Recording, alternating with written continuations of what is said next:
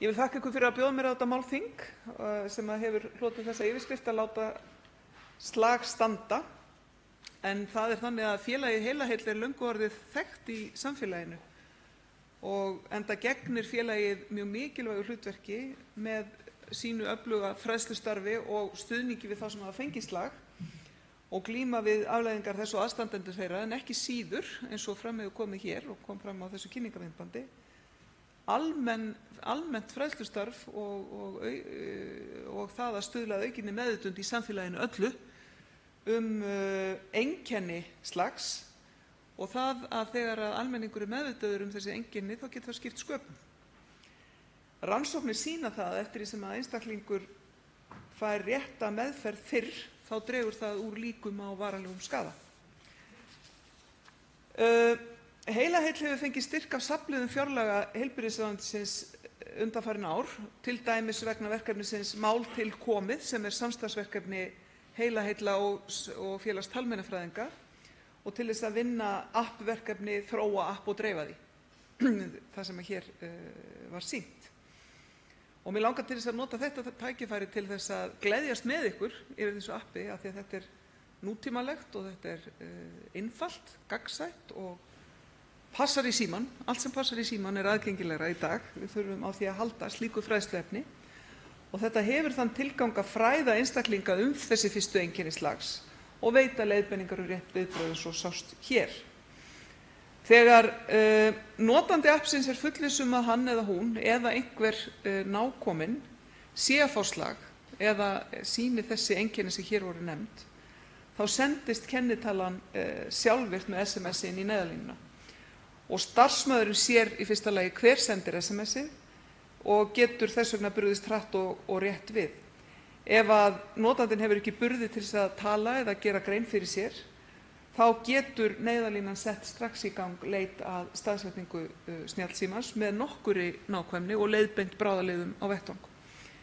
Appið er í raun og veru í öllum sínum einfaldleika frábært dæmi um það hvernig við getum nýtt tæknina til þess að veita upplýsingar og þjónustu um heilbrigðiskerfið. Það er mikilvægt að hafa það í huga hér að heilablóðfall er algengasta orsök fötlunar, önnur algengasta ástæða heilabilunar og fjórða algengasta dánarorsökin meðal vestrænna þjóða. Einn af hverjum sjö einstaklingum á búast við að fá heilablóðfall einhver tíman á lífsleiðinni. Á heimsvísu er reiknað með vaxandi nýgengi heilablóðfalla á næstu áratugum, annars vegna uh, aldurs þjóða, hækkandi aldurs þjóða og aukinnar tíðni tiltekinna sjúkdóma eins og sykursýki, offitu og, og, uh, og líka áhrifa frá reykingum. Og þess vegna er fræðsla um heilablóðfall vaxandi í raun og veru. Uh, þörfin fyrir fræðsluna þar að segja, aðdraganda þeirra og, og, og afleðingar. Helstu áhættuþættir slags eru hár blóðþrýstingur, há blóðfita og reykingar. Einnig má auðvitað nefna aðra áhættuþættir svo sem sykursýki, offitu og kyrrsetu auk óbreytanlegra þátta sem eru kynferði og aldur. Sumir þessara áhættuþátta eru háðir hver öðrum eins og til dæmis offita og sykursýki og því má draga verulega úr áhættunni með hollu mataræði og reglubundinni hreyfingu. Forvarnir og fræðsla um heilbrigt líferni eru þess vegna stór þáttur í að fyrirbyggja tíðni heilablóðfalla og það er mín von að með aukinni áherslu og ekki síst í heilsugæslunni eins og Þóri nefndi hér í byrjun takist að bæta ennþá og efla þessar uh, lýðheilsunálganir og fyrirbyggjandi aðgerðir sem draga úr þessari tíðni af því að við erum nefnilega með því að bjarga lífum. Í heilbrigðisstefnunni sem hér hefur verið nefnd til ársins 2030 sem var uh, okkur öllum til gleði samþykkt uh, einróma á Alþingi, þar að segja án mótatkvæða í júni síðastlinum, segir meðal annars að framtíðarsýn fyrir íslenskt heilbrigðiskerfi sé að heilbrigðisþjónustan sé á heimsmælikvarða eins og hér hefur komið fram og að lýðheilsustarfi sé hluti af allri þjónustunni. Þetta er óendanlega mikilvægt, ekki bara það að þetta standi þarna vegna þess að orð er til alls fyrst, heldur vegna þess að við erum nú þegar farin að feta okkur í þessa átt vegna þess að nú vitum við hvernig kortið lítur út og við vitum hvernig kompásinn lítur út.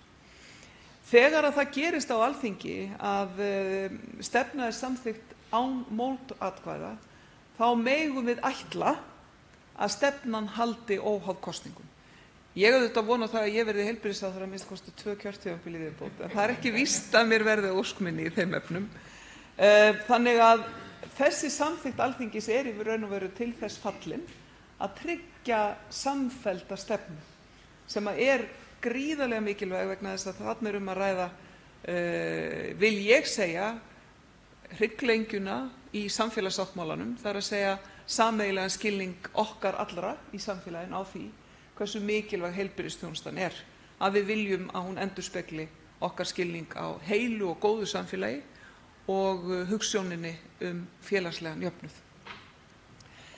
Við leggjum líka áherslu á það í heilbrigðisstefnunni að auka meðvitund fólks um eigin heilsu og í þeim kafla sem sérstaklega fjallar um það sem við köllum virka notendur er sérstaklega talað um það að það sé mikilvægt að fólk sé læst á eigin heilsu. Það er hugtak sem er tiltölulega nýtt í umræðunni og kallað heilsulæsi, það er að segja að vera meðvitað um eigin heilsu en ekki síður að vera fært um það að leita sér hjálpar á réttum stöðum. Og það er hvort tveggja umfjöllunarefni þessara mikilvægu samtaka sem hér halda fund. Upplýsingatækni og stafrænar lausnir í heilbrigðisþjónustunni fara líka sívaxandi eins og sést auðvitað á appinu sem hér til umræðu.